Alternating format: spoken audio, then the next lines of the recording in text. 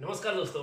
Our today's topic is colligative properties now first what are colligative properties these are the properties of the solution which depends on the number of solute particles in a definite amount of solvent तो this is these are those properties of solution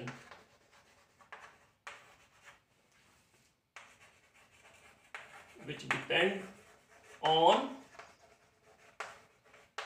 number of solute particles in definite amount of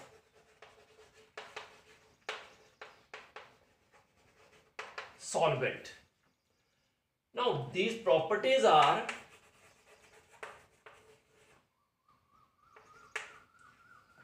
first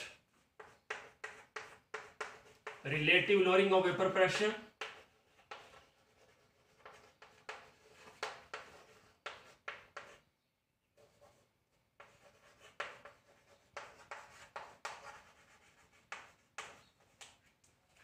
second is elevation in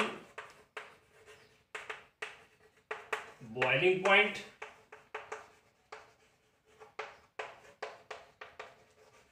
Third property is yes depression in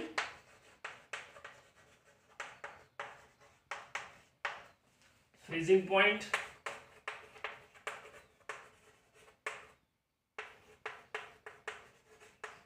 and fourth one is osmotic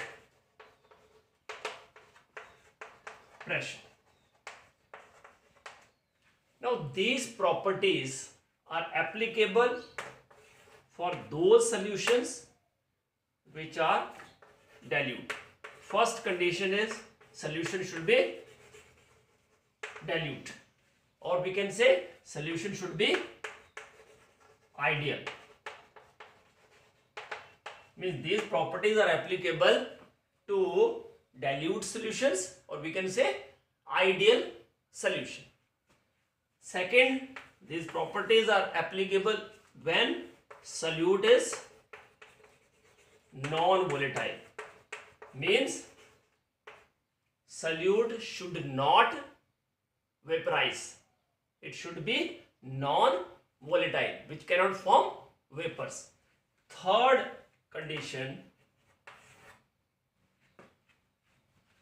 Solute should not associate or dissociate in solution. Because if solute associate then what would happen number of solute particles decreases. So colligative property decreases. Now when it dissociates then what would happen? Number of particles solute particles increases because it it does not depend upon the nature. It depends on the number of solute particles and not on the nature of solute. It is independent of the nature. That means they may be atoms, they may be molecules, they may be ions.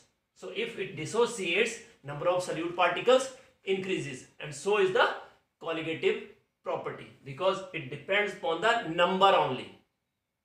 Right? Then, you know, this property because solutes are non-volatile therefore this property is property of solvent actually. This is the property of solvent in solution. Because vapor pressure has nothing to do with solute. Same boiling point elevation is of solvent in the solution. Freezing point depression is of solvent in the solution. Or even osmotic pressure is of the solvent. Right. So these properties are actually the properties of the solvent in the solution. Now what is the need of these properties? These properties are used these are used to determine molecular weight of non-volatile solute dissolved in the solvent. Actually, solvent is volatile only. Solute is non-volatile. So these are the conditions when we apply these properties. Otherwise, if it is associate or dissociate, then there is a deviation. We use Van't Hoff factor for the correction that we will study later on. So these are the properties, these are the conditions. What is colligative property? What are those properties? What are the conditions when they are applicable?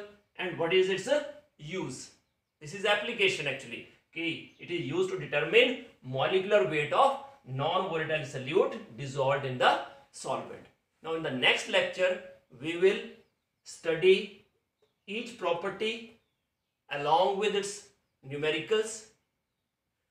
Thank you very much for watching this video.